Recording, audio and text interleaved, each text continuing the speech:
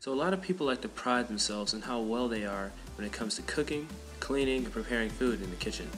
But that's not always the case. It turns out that a lot of people actually don't know how to practice safe cooking habits. So, do you think you have what it takes? Yeah, um, I'm pretty sure I got what it takes. Uh, I've never burned anything down, so I'm pretty sure I practice safe cooking habits all the time. Alright, alright, you seem pretty confident. But I think I have a few safety and healthy cooking habits and tips that might be able to help you out in the kitchen, and I think you can learn a little bit from it. So let's start off by examining what you do in the kitchen.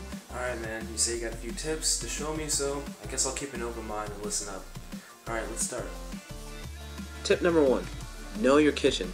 Now, I know this seems kind of obvious, but a lot of people slip up in times of emergency when they need to locate and find things that could be useful to them. For example, fire extinguishers. Tip number two be sure not to wear loose articles or clothing or anything else that can get in the way when you're cooking. Things like this can easily catch fire.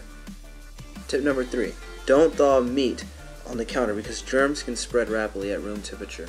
It's best to thaw foods in either the refrigerator or cold water or in the microwave. Alright, tip number four.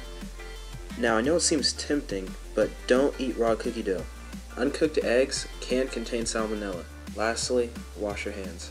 Now, it's not exactly new, but a lot of people don't wash their hands quite long enough.